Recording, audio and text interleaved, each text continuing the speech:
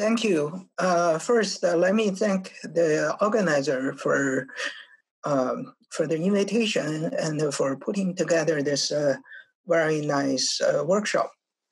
So uh, I changed my title a little bit. Uh, so in fact, the writing of the the talk is an evolving process. So now I put in a little bit something more. So I put the and more. So all right. Uh, here is the outline of the talk. Uh, I will begin with some motivational examples of high dimensional HJBs. Um, we, in the past uh, two days, people have been, you know, colleagues have been talking about the different high dimensional HJBs.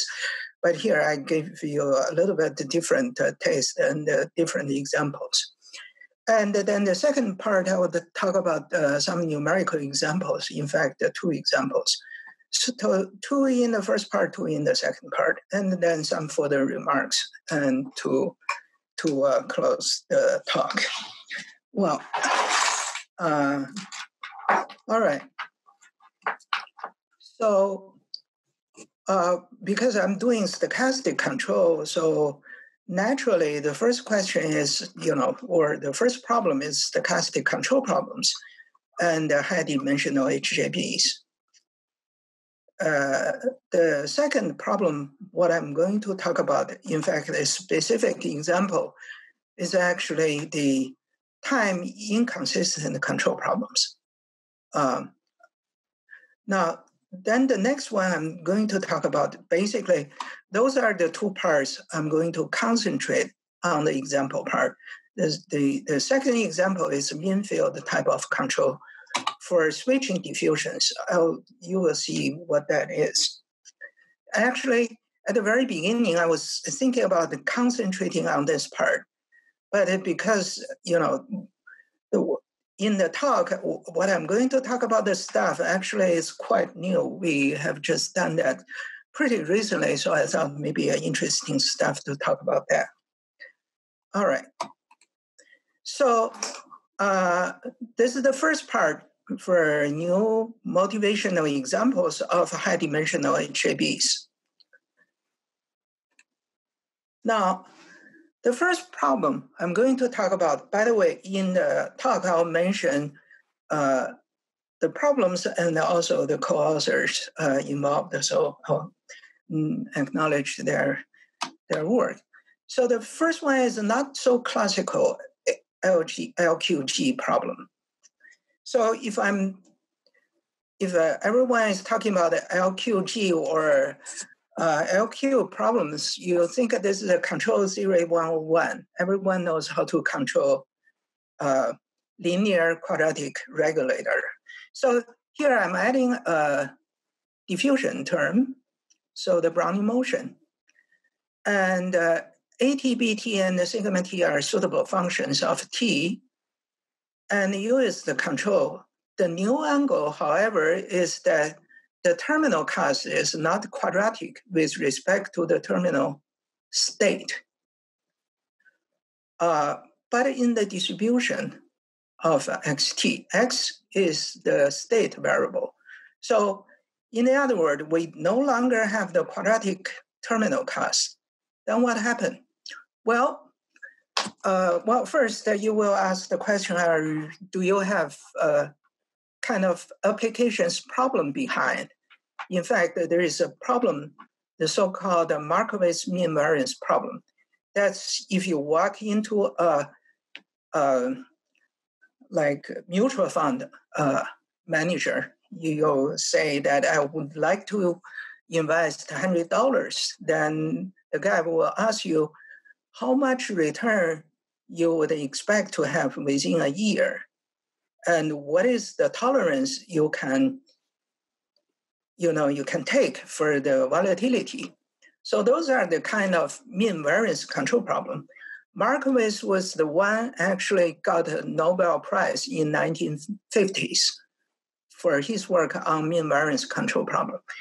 And later on this was extended in the in the uh, early 2000 or so, we also work on some of the problem. But this is the, actually one of the problem of that form. So what you have here is expected value of xt, the terminal uh, state, but you are taking the expected value of that and you square that quantity. This becomes non-classical. So the traditional HJB approach does not work at all. Now, this is a so-called is a, a, class of new stochastic control problem. That such uh, problems are called, you know, time inconsistent control problems. So basically, that tells you the decision maker's preference change over time, but it's not consistent uh, with another uh, point of time. So basically, the Bellman's uh, principle no longer works. So then what we do with it? Uh, well, the time when we look at the problem, we actually use the you know completing square to solve the problem. But later on, there is a work by by Björk and XYZ with uh, you know Xunyu Zhou. With, normally people call him XYZ uh, from Columbia. So they look at the problem in 2014 using a, a game theory kind of approach. Now, then in 2015, uh, Jiongmin Yong uh, did a paper on this. Now, currently, he's developing a new theory on this time inconsistent control class of problems. So basically, here, what he was trying to do is trying to solve the time inconsistent control problem by using basically trying to find the time consistent solution for time inconsistent control problem. It's a recursive optimization problems. So I would uh, suggest if anyone is interested in, you can look at his uh, recent work. This one has appeared in uh, AMS, uh, uh, you know, the AMS journals. Now, here our uh, idea is to treat the value function by increasing the dimension of the space with the addition of the probability law. So that's the new part of it. So basically, what you do is that we, of course, have a state variable x uh, or the diffusion associated with that control the diffusion. Then we look at the corresponding probability law or probability distribution. Now, for simplicity, I'm going to illustrate that use a just a scalar problem. Scalar problem, even you have this. Then you can define uh, define this uh, inner product or pairing or whatever you, you, you want to call it. Then this mu square uh, bracket mu to the m, in fact, is the m's moment. And then you can define the derivative associated with the measure. So you are actually working a collection of uh, measurable functions from, you know, uh, you know, from the metric space. So then the problem change, right? You can write down the corresponding value function. So notice the value function is no longer in the original control u, but in the measure mu. So uh, then we write down for simplicity. I'm I'm using b as you know just uh, linear, and uh, so the running cost is quadratic in u only that term, no no uh, quadratic in x term, and the terminal cost turns out to be of this form. All right, then what happened? Well, then we can define some operators. Those are just details, so we don't have to worry about it. But then what's uh, happening is that what you can show is that the value function turns out to be of this form. It is quadratic, all right, but it's quadratic in the measure, not in the not in the, the, the u anymore and you can look at what is the sorry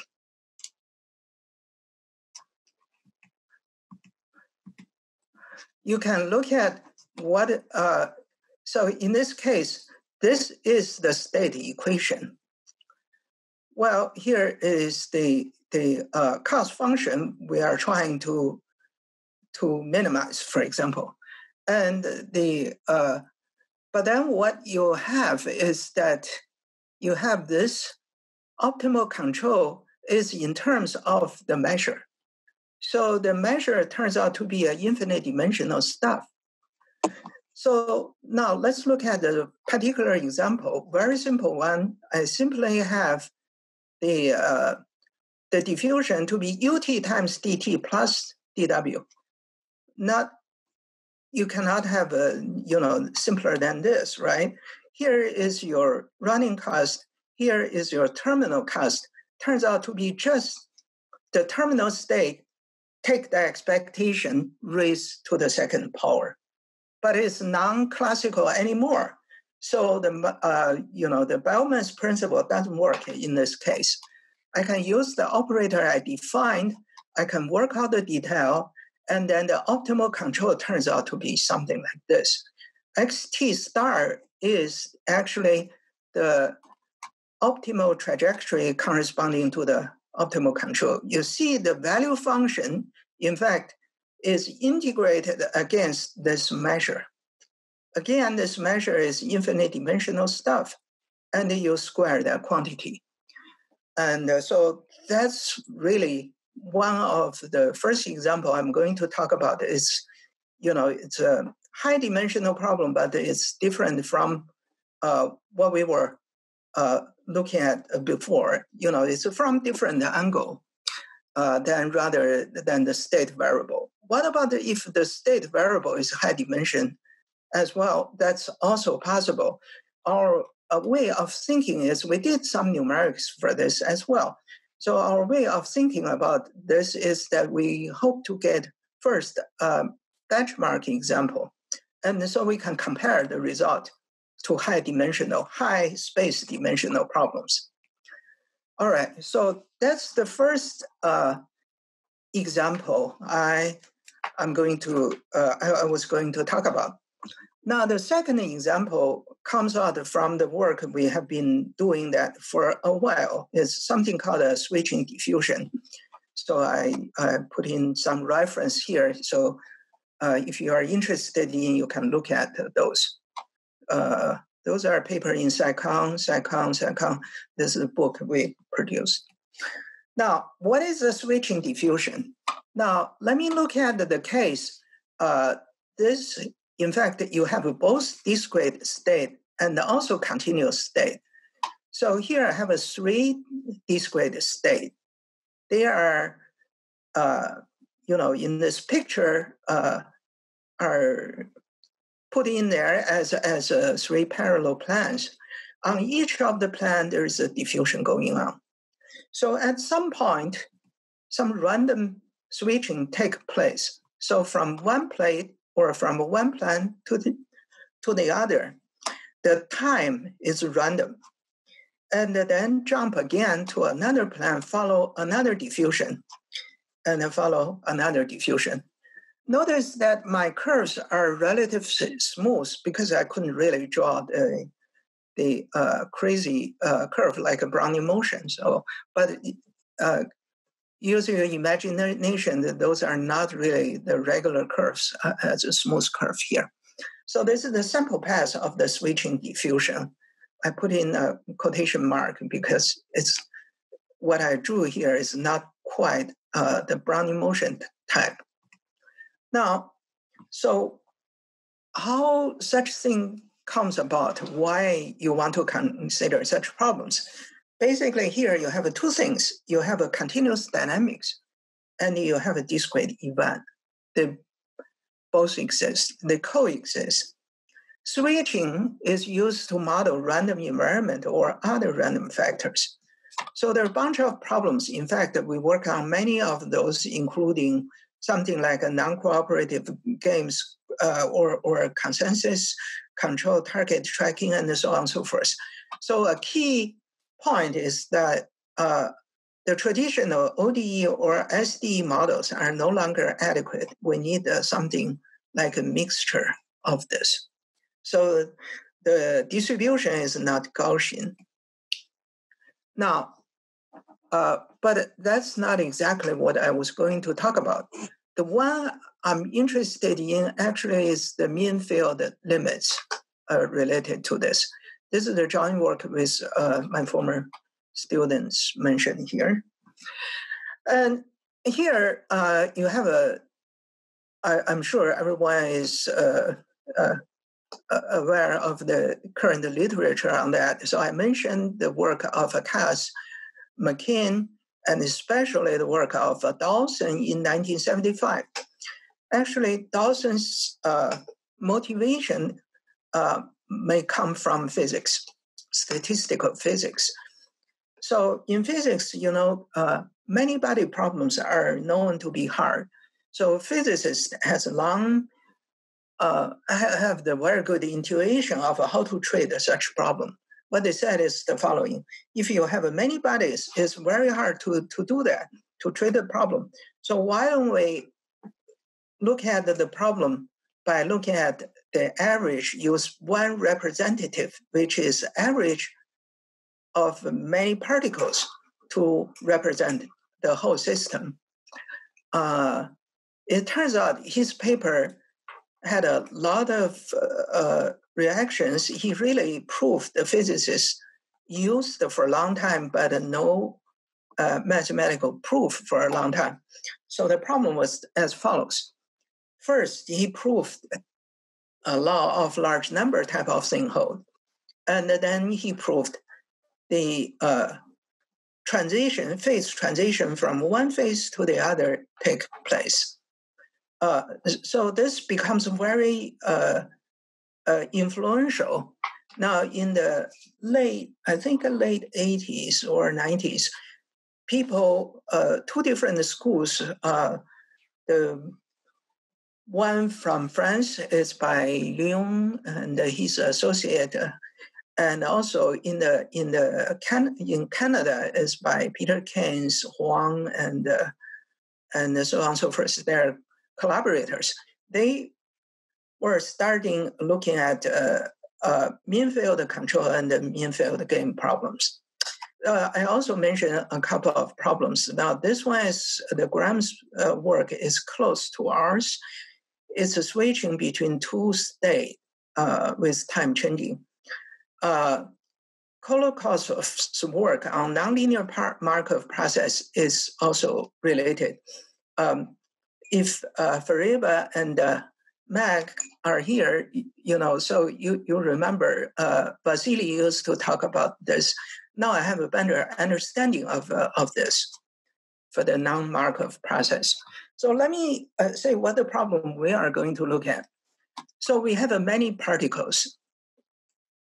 For each particle, it satisfies the following equation. So this is the drift term. This is the diffusion term. So U is the control, W is the Brownian motion. Now, what is added here is the uh, the mean field term. It's one over n delta x j and t. Well, this one just uh, you know like an empirical measure, basically. Now, uh, so what we were looking at uh, is basically looking at this problem. But uh, so there are two things. One is the mean field uh, term.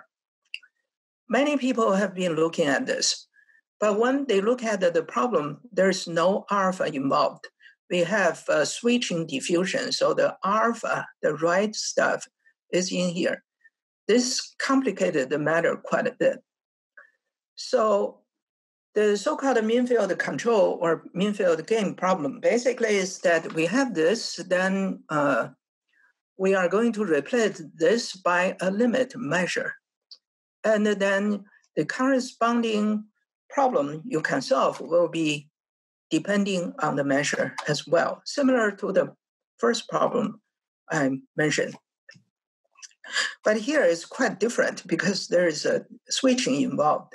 So we were trying to redo like the LQG problem with switching, but with also the mean field term added in.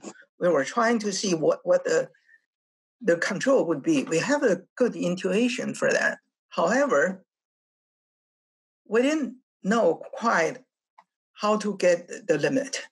So that uh, really led us to look at, to investigate what the limit should be. It turns out that this part is quite interesting. I have a one page here. So the uh, the limit uh, the limit turns out to be a stochastic McKean-Vlasov equation that was in the stochastic processes and applications. Then there is a maximal principle in the French journal. So basically, to make the long story short, we can say that uh, the, there is a limit. The limit, in fact, is a unique solution. Uh, it's, it's a law. Uh, the law is given by this uh, right equation. Uh, what is interesting is that, you know, before, for most of the people who look at the problem of mean field game or mean field control problems, the limit measure at least is deterministic. But in our case, this is random. It depends on the history of the Markov switching process. So, uh, so here the next two uh, or three lines actually tells you the main difficulties. So very often you are trying to get the limit by using martingale problem formulation, but it doesn't work in this case. Now, in Kurtz and Xiong's work, they were looking at bunch of stochastic PDE, uh, infinitely many exchangeable particles, uh, but they can use it. Ergodic theory, however, this is not available to us. We use the mean field uh, a conditional mean field. I should mention the work of Buckdahn, Li, and Ma. They also use the, this, this uh, conditional mean field. Basically, is for treating uh, partially observable systems. And there's also a work of Carmona and Zhu for using probabilistic approach treating major and uh, minor players. So they use a conditional expectation or or probability to to trade the uh, condition on the major players. So now, uh, so naturally, once you get such a problem, I have to say for this part we haven't done any computation yet, and in fact, our next uh, uh project or next uh, step is to get the corresponding HJBs turns out to be rather rather difficult. But oh, I think we should be able to do it. Uh, looks like we have a good handle on that. But later on, we'll be looking at the numerical solution part. Naturally, this will be high dimensional problems as well. So basically, I give uh, two examples of uh, uh motivational problems uh, for the high dim- dimensional control problem. Now I'm going to switch gears, talk about uh, some numerical examples. Uh, because everyone is doing, not everyone, uh, a lot of uh, colleagues here uh, have talked about, you know, using learning idea to trade problems. I'm going to talk about something like this as well. As I told you, some of the stuff we have done is uh, relatively new. In fact, it's uh, as you can see, what what we mentioned. So we have a, a number of people have to talk about the control problems, but uh, uh, so no one, at least uh, in this uh, workshop, has talked about the filtering. So we are going to talk about something about filtering here. So this uh, is uh, familiar to everyone here. We are talking about what is a deep neural network. We use DNN to denote that. And uh, uh, so the deepness of this uh, network is measured by the number of layers used. We consider the fully connected neural net, and we do back propagation. Um, and uh, well, then we need a cost function, of course. So our idea is that we are, of course, uh, filtering is interesting on its own right, but we also would like to do uh, partially observable controls at some point. So this is really the first step in that direction. So, so here we need a, a data set consists of fixed pair of input and output variables. And we have a feed forward neural net. And uh, uh, the parameters with with theta. And we have a loss or error function L theta defining the error between the desired output and the calculated output. So I borrowed this picture from the Nielsen's book. It, you know, it's like everyone knows this, so I guess I don't really have to put this one there. So, what is deep filtering? Uh, so, what we do is we generate Monte Carlo samples and then we use those samples to train a deep neural net, basically a number of layers, networks involved. And then the observation process is used as input to the deep neural net. And the state from the Monte Carlo samples is used as a target. And then we use the least square error of the target and calculate the output as a loss function for networks training to, to come with the, the, uh, the weighting vectors. Then these weighting vectors are used in another set of Monte Carlo samples and so on and so forth. And finally, we calculate the, the uh, DNN output. And this is what we term that deep filter. Just going through the whole network, as you can see here, going through each stage. All right. So let's uh, get the setup uh, uh, put in here. So uh, uh, for simplicity, I'm going to look at a discrete time problem. So xn is the state process such that xn is given by this. whereas UN is the, the uh, system noise, all right? And we have the observation process is given by YN, which has another observation noise, uh, VN. So uh, just remember, XN is the state, YN is the observation. This is the sort of like a, a classical notation. And then we uh, use n seed to denote the number of training sample paths. We use n0 to denote the training window for each sample pass. And then you just, uh, you know, look at this. This is the input vector to the neural net. And the xn is the target, is the state. And here, Kasian is the neural net output. In fact, this one depends on theta, so I put a little theta in the, the superscript, but you can put that into the you know parentheses if you like. It's a theta dependent, so that's the theta is the whole thing. In fact, uh, so then you define this uh, uh, uh, loss function or cost function you want to minimize, and then we basically just go on try to work out the filtering problems. So what I'm going to talk about here is uh, several things. So first, we try to redo the Kalman filter. And then we look at the extended Kalman filter. And then we look at the state actually involve a switching or Markov switching process and we'll see how that performance uh, or, or how the uh, uh, neural net, uh, this deep filtering tell us.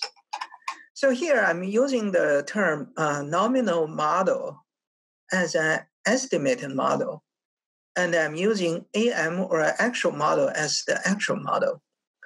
So now you know you remember that in the when we do the filtering, we just uh, you know use a just you know a state and the state equation, also the observation equation. But here we have a two things. One is the nominal model, is the estimated model. The other one is the actual one. The difference is really from the, the observation noise part, as you can see. All right, so let's first look at the Kalman filter. I, I didn't uh, uh, put in many of uh, those uh, computational result. I didn't put in the, the, the time involved, but I can certainly provide that uh, if it's needed. So first, remember, AM is the actual model. So first, we fix the standard deviation or, or the variance of the actual model, and we let the nominal, you know, the variance of the nominal model change. It turns out the Kalman filter depends heavily on nominal observation noise. But on the other hand, if you look at this, this DF is deep filtering obtained. On the top is the, you know, we we uh, vary this uh, nominal uh, model, the standard deviation of the nominal model, and you see the the uh, the Kalman filter actually is sensitive to the variation, whereas uh, the deep filtering is relatively robust in this regard. Now, then what we do is we, we let the uh, nominal model fixed, the, the uh, standard deviation fixed at the point five, and then we vary the uh, standard deviation of the actual model uh, as you can see, both the deep filtering and the Kalman filter is getting worse. But the deep filter appears to be more robust than the Kalman filter because it is less sensitive to such change than the Kalman filter. All right. So now the second uh, related example for this part is that we are going to look at the nonlinear model. So we put in the nonlinearity as a sign function for the state. And uh, you see the only difference is really the uh, the variance part for the nominal model and for the, the actual model. All right, so then what happened? Now, again, uh, the deep filter is more robust and less dependent on the nominal observation noise change when compared against the corresponding extended Kalman filter. Because it's a nonlinear problem, we use an extended Kalman filter here.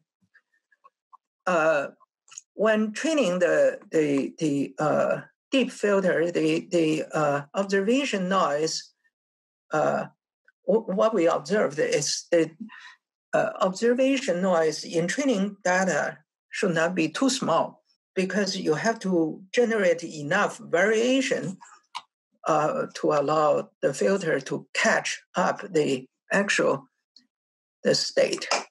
So this is the that uh, case.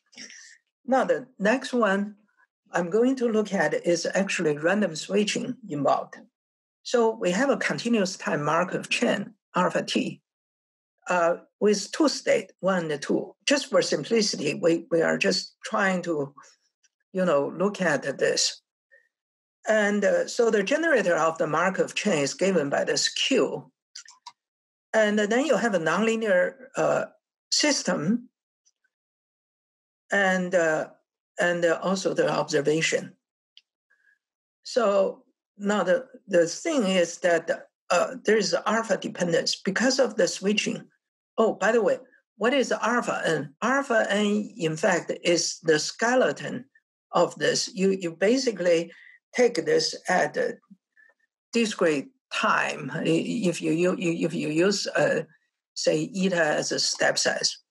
All right, so uh, for sigma equal to 0.1, and uh, I mean sigma zero, and uh, 0.3, we generate two samples. Well, in this case, you know, uh, extended Kalman filter is not going to work. Its Kalman filter is out of the place as well. So now you get two samples, and then you can take the difference of those, and you can see their performance.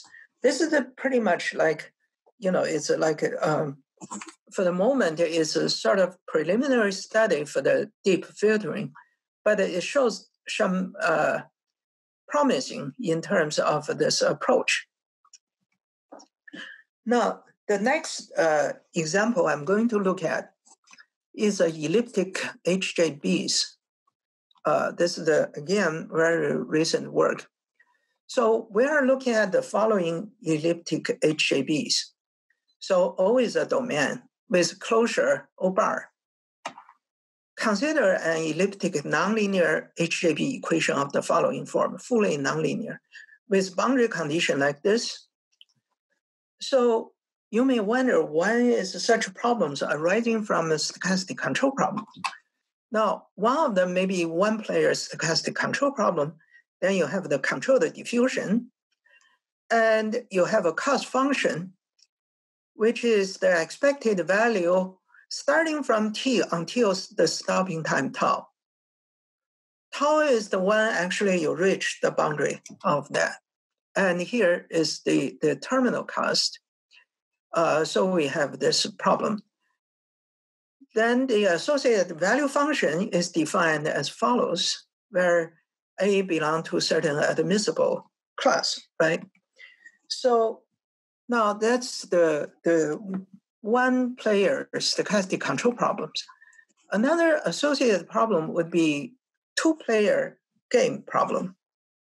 So for the two player game problem, we have this, we have a two controls, uh, control for player one, control for player two.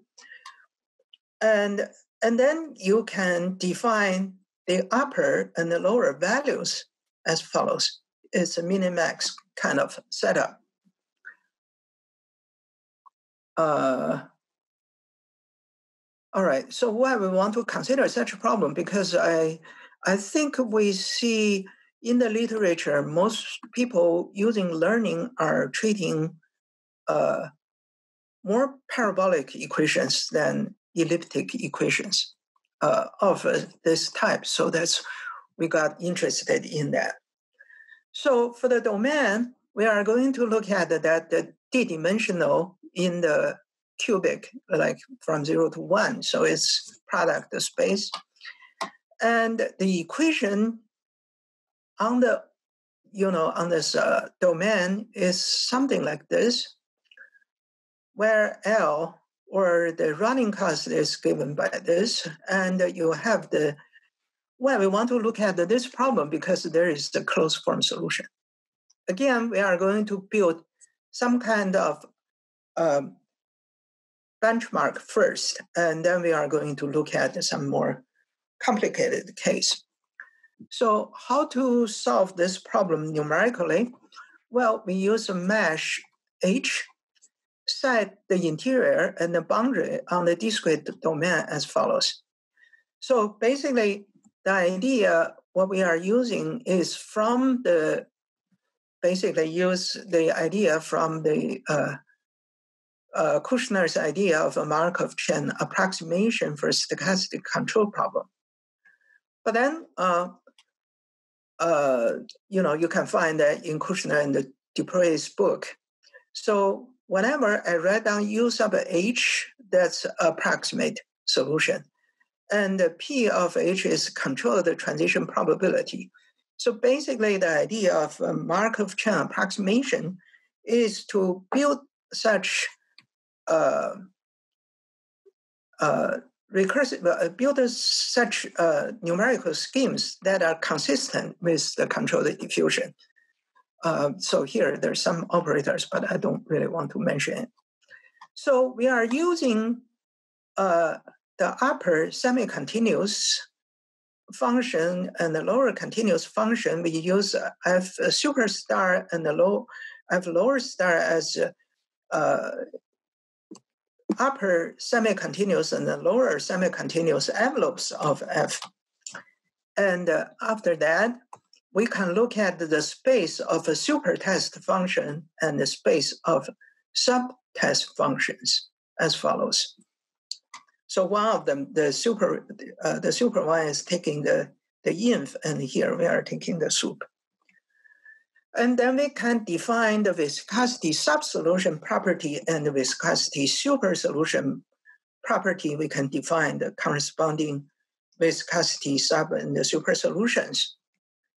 So the first algorithm is by value iteration. This is the really uh, classical. This is known to everyone in the audience, I think. So I don't need to say too much about it. But if you do the value iteration, you see that the memory you need for even the benchmark problem uh, is going to be this big, is of the order 1 over h to the power d, where d is the dimension, h is the step size. So if h is small, then the memory can be huge. So then uh, what we are thinking is maybe we can try to use a neural network to resolve the issue. So here, C is an activation function and uh, with a parameter set theta. So then it uh, comes to the second uh, pseudo algorithm, basically using the idea of uh, deep learning. So we set tolerance level, we set this, uh, you know, thing like that. And we use a learning rate for this computation. Actually, we didn't quite use a constant. If you have a question, I can talk about more because I know in learning, people do pay attention to this uh, uh, learning rate. And then we go ahead to do this uh, stochastic gradient uh, sort of stuff and uh, return the result. So basically, it's kind of like um, what I should say is is uh, well, we, we are using that idea to solve the problem. All right. So you ask probably you would like to ask, or do you have a sort of uh, convergence result? Yes, we do. In fact, we do have a convergence result. So the basic idea is to use the upper and uh, lower, um, you know, envelopes uh, uh uh, to and then use the sub and the super uh, viscosity solutions to sandwich this uh, approximation. And finally, we can show this one converges to the true control we want to, to get to. So, uh, so the in fact, George, just five minutes reminder. Oh yeah, yeah, sure. Uh, I will finish that in five minutes. All right, thank you. So, I mean, this uh, this upper uh, semi-continuous envelope and the lower uh, semi-continuous envelopes of uh, U of H turns out to be uh, the sub and the super solutions. So I'm going to show some numerical result. Uh, I promise to finish on time. So the first approximation is for one-dimensional thing you know, we have a closed form solution in this case. So we can compare that, uh, the exact solution. It shows pretty good match, as you can see. And uh, now the first one is, by the way, this one is using value iteration. This is the perhaps a standard, but it is a low dimension, you can do that.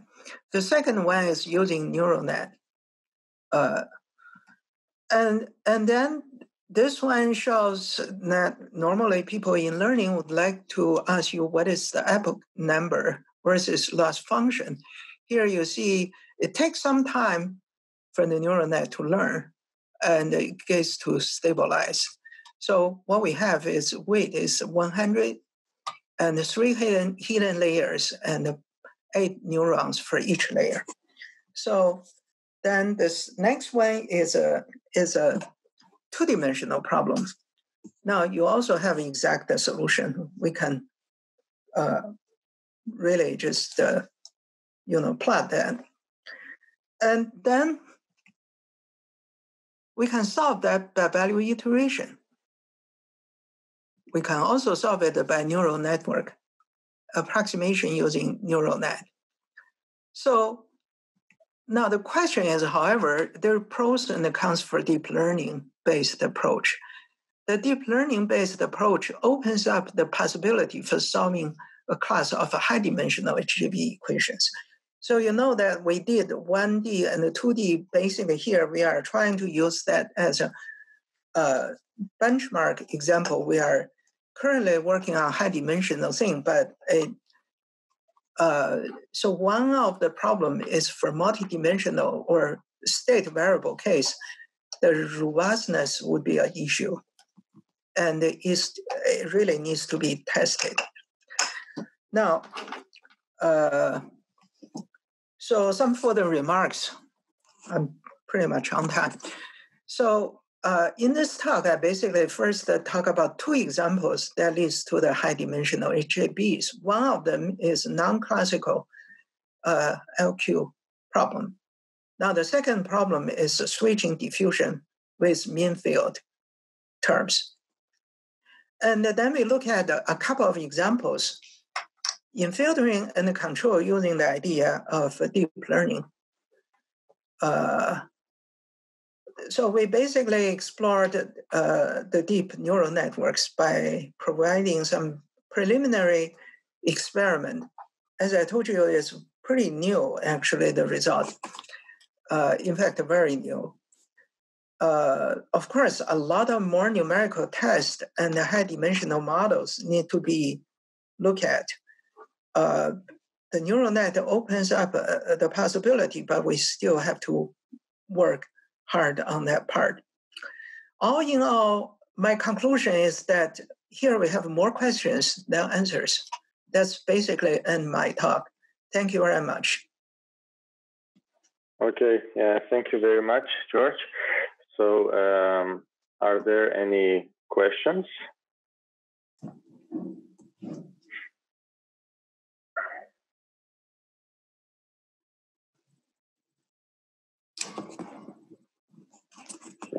So um, I don't see. Uh, oh, wait, there is one. Yes. Okay, Wei, you can go.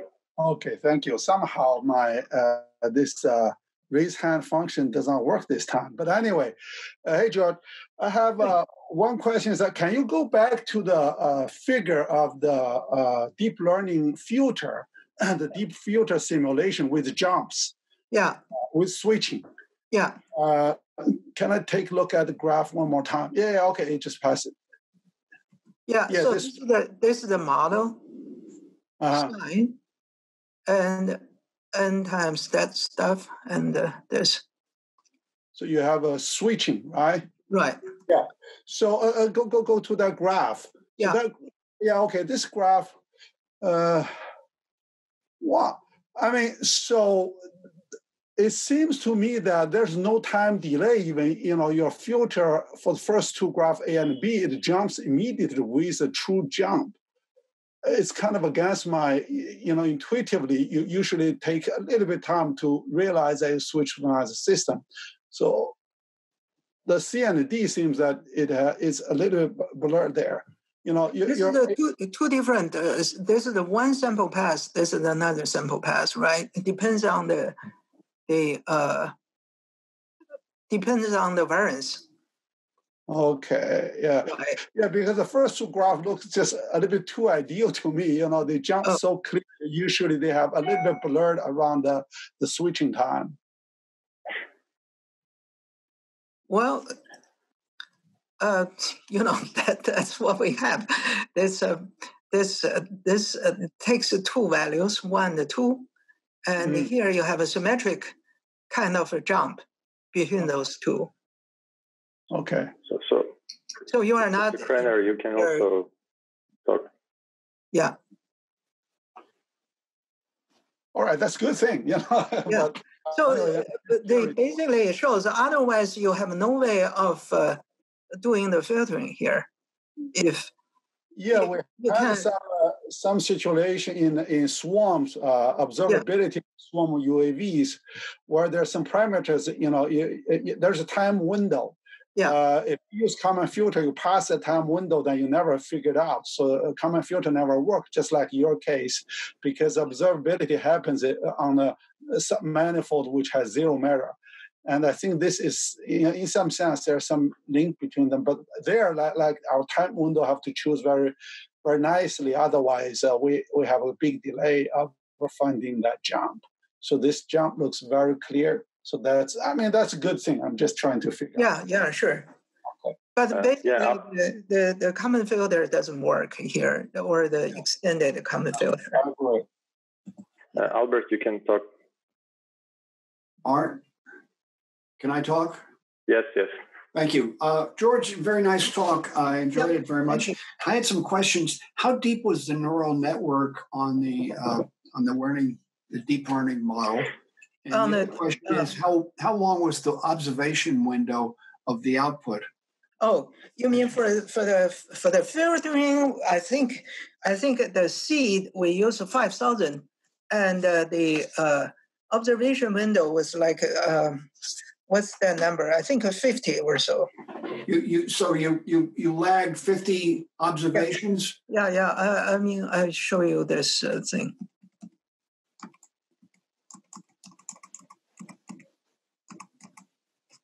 So here the seed we use five thousand. N zero, I think we used uh, fifty. 50 and uh Yeah.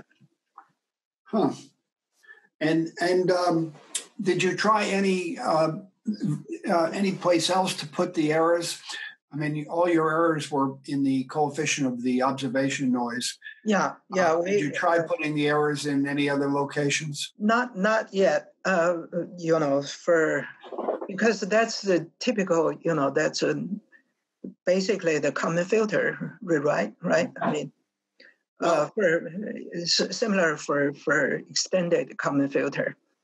Well i was thinking uh, where where the dynamics has a parameter in it which Yeah. you can treat as an extra state Yeah. and uh, you would want to estimate that parameter uh, from observations not of it but of uh, of the dyna- of the dynamics of the rest of the variables.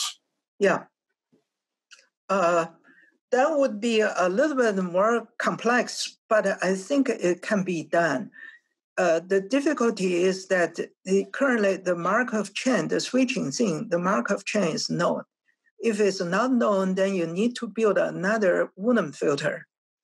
Well, that, that becomes more complicated because that uh, observation part cannot be the switching dependent for the noise part. Yeah. So otherwise, you don't have a finite dimensional filter. And how deep was your uh, learning uh, your uh, deep neural net? I, I think it's three or four layers. It's not particularly deep. Yeah, no, no, not. Some people are saying if you put it too deep, may not be too good, maybe over parameterize. I don't know. I mean, it's the. Of course, we need to do more, you know, uh, experiment on that. I mean, you, with with the um, with your dynamics, what's eta in the dynamics? How big is? Eta, eta is the, the step size. Yeah, and how big is that?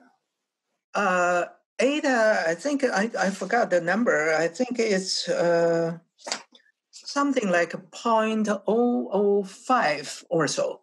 So, yeah, so the trajectories are moving relatively slowly. Yeah, And so if you have an average of them, you, you could just average the last 50 observations.